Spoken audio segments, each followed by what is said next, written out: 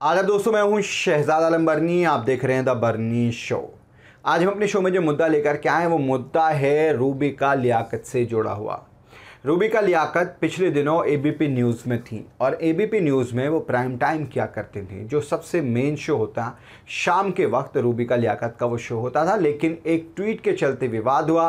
वो ट्वीट काफ़ी चर्चाओं में रहा। पिछले दिनों रेल की जो टक्कर हुई थी, जो एक्सीडेंट हुए थे, उस पर एक ट्वीट किया था सरकार के खिलाफ, जिसके चलते रूबिका लियाकत को एबीपी न्यूज़ से निकाल दिया गया। हालाँकि तरह तरह के तर्क बाद में दिए गए, लेकिन आमतौर पर यही माना जा रहा है कि उस ट्वीट के चलते ही रूबिका लियाकत को निकाला गया था। उसके बाद रूबिका लियाकत ने फिर से शुरुआत की और शुरुआत की एक और चैनल में। उस चैनल का नाम बताना हम ज़रूर नहीं समझते क्योंकि किसी चैनल को घसीटना सही नहीं है। लेकिन इस चैनल में जाने के बाद रूबिका लियाकत के जो शोज़ हैं, उनको कोई बहुत अच्छी व्यूवरशिप नहीं मिल रही है। आमतौर पर कहा जा रहा है कि रूबिका लियाकत जो हैं, वो फ्लॉप हो चुकी हैं। यानी एबीपी न्यूज़ जो थी, वो एक बड़ी संस्था थी। उसका एक टैग था, उसकी एक व्यूवरशिप थी, जिसके चलते रूबिका लियाकत को लाइमलाइट मिली हुई थी। लेकिन अब नए चैनल पर गई हैं। वहाँ पर रूबिका लियाकत के जो शोज़ की व्यूवरशिप है, वो बहुत ही ख़राब है और उसको देख करके लगता है कि आम तौर पर जो यूट्यूबर्स होते हैं छोटे मोटे उनकी भी व्यूवरशिप इससे ज़्यादा होती है।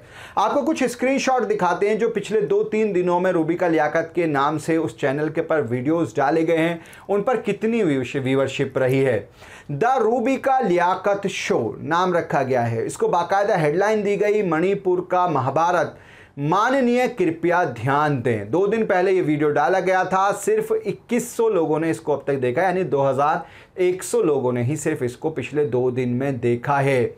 और एक और शो का नाम रखा है, दहाड़। बाकायदा माहौल बनाया जा रहा है। मणिपुर तो बहाना है पीएम मोदी निशाना है। ये भी दो दिन पहले वीडियो डाला गया था इस चैनल पर और व्यूज़ जो हैं इस पर हैं 1.9 के, यानी 1900 व्यूज़ आए हैं सिर्फ़। 1900 व्यूज़ सिर्फ़ इस पर आए हैं, यानी बहुत ही कम तादाद है ये। एक और दिखाते हैं। The Rubika Liyaquat show. ये जो है, तीन दिन पहले ये वीडियो डाला गया था और तीन दिन में सिर्फ़ इस पर पाँच सौ छप्पन व्यूज़ आए हालाँकि इसकी अगर आप हेडलाइन देखेंगे तो भारत मांगे यूसीसी यानी यूनिफॉर्म सिविल कोड को। भारत मांगे बाकायदा एक बड़ी कैंपेन, सबसे बड़ी सामाजिक क्रांति से जुड़िए। ये message the Rubika Liyaquat show में दिया गया था, लेकिन उसके बावजूद भी तीन दिन में सिर्फ़ पाँच सौ छप्पन व्यूज़ ही आ पाए। एक और दिखाते हैं आपको। दहाड़ और उसके नीचे फिर एक और है दहाड़। दो वीडियोस डाले गए हैं। विपक्ष ने मणिपुर मामले को शांति प्रदर्शन का, शक्ति प्रदर्शन का हथियार क्यों बनाया है? तीन दिन में सिर्फ़ वन के इस पर व्यूज़ आए हैं, यानी सिर्फ़ एक हज़ार व्यूज़ पिछले तीन दिन से ये शो इस पर डला हुआ है। दूसरा है, सरकार ने भी अविश्वास प्रस्ताव के लिए तैयारी कर ली है क्या? तीन दिन में 1.3 के व्यूज़ यानी सिर्फ़ 1300 लोगों ने ये एपिसोड देखा है पिछले तीन दिन में। तो अगर इस वीवरशिप को आप आइडियली तौर पर देखें तो ये बहुत ही ख़राब प्रदर्शन है। और रूबिका लियाकत शो जो द रूबिका लियाकत शो बनाया गया है, या जो दहाड़ के नाम से एक एपिसोड बनाया गया है, जिसे रूबिका लियाकत कर रही हैं, वो दोनों शोज़ जो हैं बुरी तरह से फ्लॉप होते हुए दिखाई दे रहे हैं। सवाल यह बनता है कि क्या अब रूबी का लियाकत फिर से कहीं और जगह तलाशेंगी या इसी में सुधार करने की कोशिश करेंगी?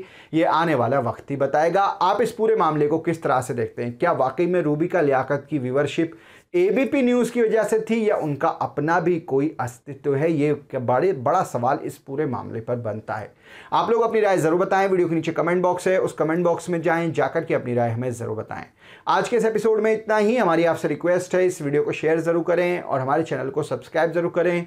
और आप हमें सोशल मीडिया पर यानी इंस्टा, ट्विटर और फेसबुक पर फॉलो करने के लिए वीडियो के नीचे जो लिंक्स दिए हुए हैं, उन लिंक्स पर जाकर आप हमें सोशल मीडिया पर फॉलो कर सकते हैं। बहुत बहुत शुक्रिया।